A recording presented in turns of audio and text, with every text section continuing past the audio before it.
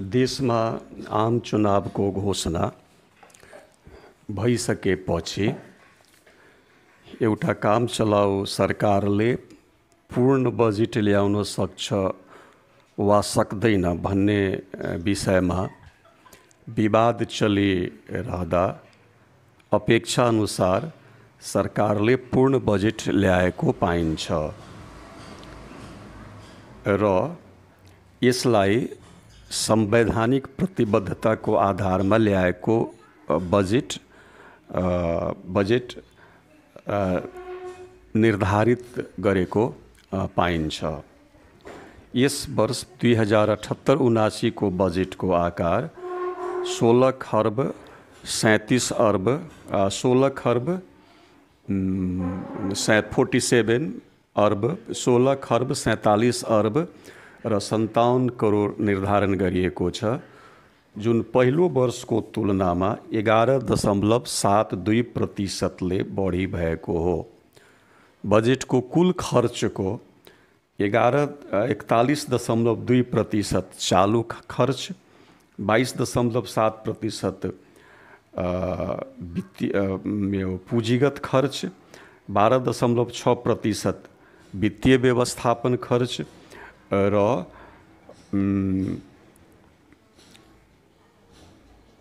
र तेइस दशमलव पाँच प्रतिशत बजेट स्थानीय र प्रदेश तहमा हस्तान्तरण गर्ने नीति लिएको हो।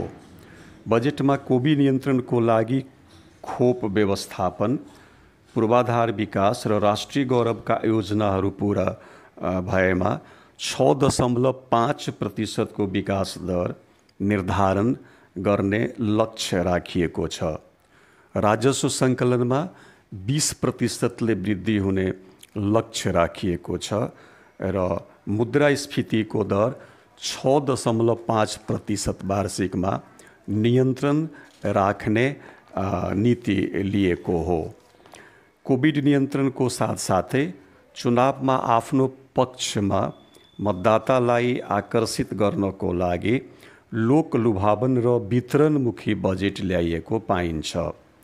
यस बजेटमा वृद्ध अशक्त एकल महिला बालबालिका कर्मचारी विद्यार्थी पत्रकार व्यवसायी सबैलाई सन्तुष्ट हुने गरी भत्ता तलब सामाजिक सुरक्षामा वृद्धि गर्नुको साथसाथै कर छुट जस्ता कार्यक्रम समावेश गरिएको छ र करिब तिस क्षेत्रमा कर भारमा विशेष गरेर अन्तशुल्क र कस्टममा दस प्रतिशतदेखि नब्बे प्रतिशतसम्म छुट प्रदान गरिएको पाइन्छ।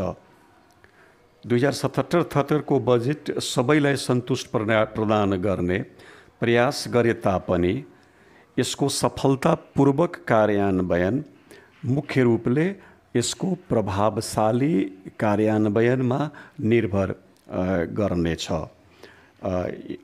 निर्भर गर्नेछ। अन्यथा यस बजेटका लक्ष्यहरू प्राप्त गर्न अत्यन्त कठिन र जटिल हुन जान्छन्। उदाहरणको लागि विकास दर राजस्व प्राप्तिको निर्धारित दर पाउन आजको अवस्थामा अत्यन्त कठिन हामी कठिन देखिएको पाइन्छन्। यसै प्रकार बजेट घाटा करिब पाँच खर्बभन्दा बढी भएको कारणले कारणले र विकास खर्च परम्परावादी नीति अन्तर्गत नै निर्धारित भएको कारणले समग्रमा यो बजेटले महामा यो बजेटले महँगाइलाई प्रोत्साहन गर्न सक्ने अवस्था उत्पन्न गर्न सक्दछ र वास्तविक मुद्रास्फीतिको दर अनुमानित भन्दा धेरै बढी हुन सक्दछ समग्रमा यो बजेट कोरोना महामारीको नियन्त्रण र त्यस कारणले भएको आर्थिक नोक्सानीलाई पुनर्स्थापना र प्रवर्धन गर्ने लक्ष्यलाई केन्द्र राखेर लोक लुभावन वितरणमुखी र मतदातालाई प्रभावित र आकर्षित गर्ने उद्देश्य अनुसार बजेट ल्याएको मेरो धारणा रहेको छ धन्यवाद